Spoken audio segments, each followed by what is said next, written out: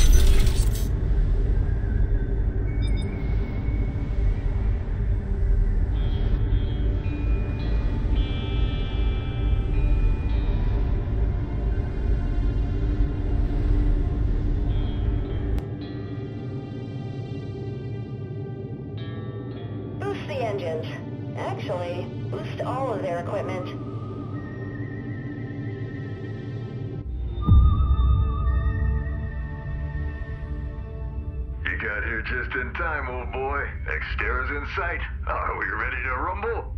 Hello, Elias. Yes, we. We need to think about it a bit. No, we don't.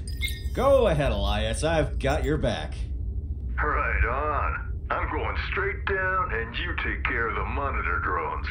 Captain. Listen, Captain. I don't think. Wait. Say Captain one more time. Captain. Good. Just so we're clear who's actually in command here, who makes decisions, and who has to fight now. I hope that treasure's worth all of this. Oodles of pajamas. Oodles.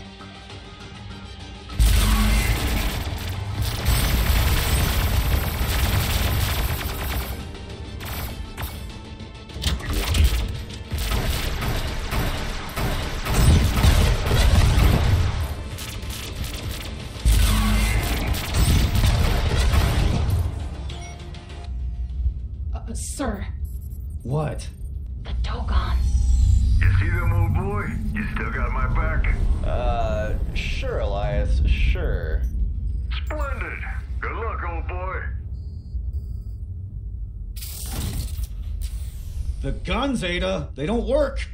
Of course not, Captain. This folly has gone on long enough.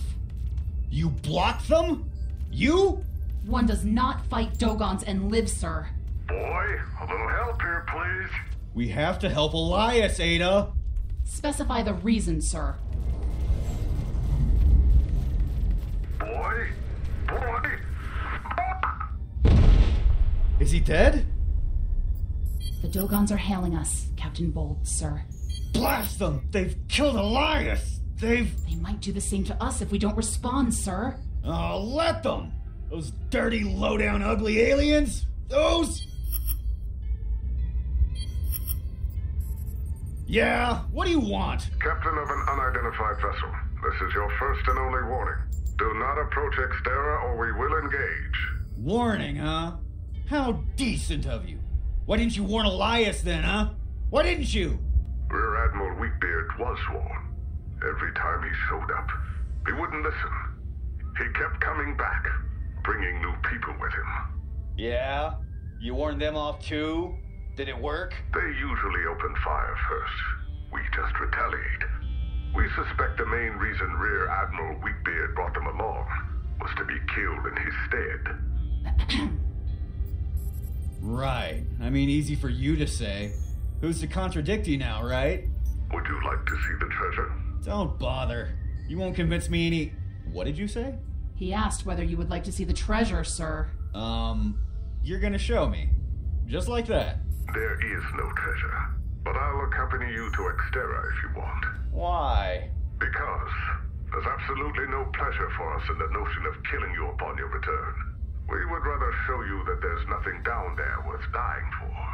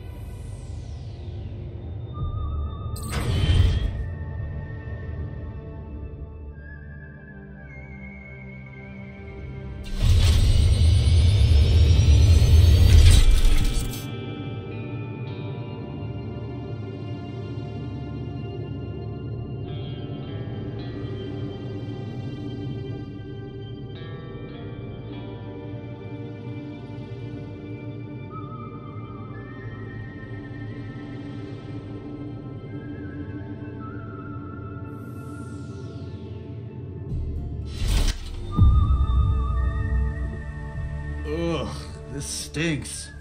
Hydrogen sulfate. I find it cleansing. Good for you. What did you want to show me? You are looking at it. This swamp? Feels like an old folks' home. The stinky one. In a way, it is. These are our parents. Whose parents? Exterans lifted our race from ignorance eons ago. The least we can do is guarantee them peace in their twilight millennia. You kidding me? These mud rats taught you something? They were splendid once. We were like savage beasts. They showed us the way. There would be no Dogons without the Exterans. Hot damn. So you weren't born all uppity and impossibly smug? We were far less than we were today. We tried to do the same for the others, with considerably less success, I'm afraid. You tried what? Lifting some other race from ignorance? Correct. Who were those poor bastards?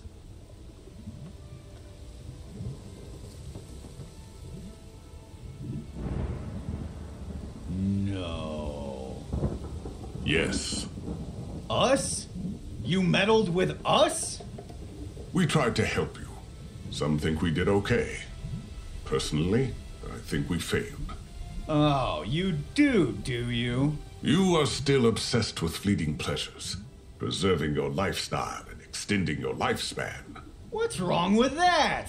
A real mature race would find a young race it could help.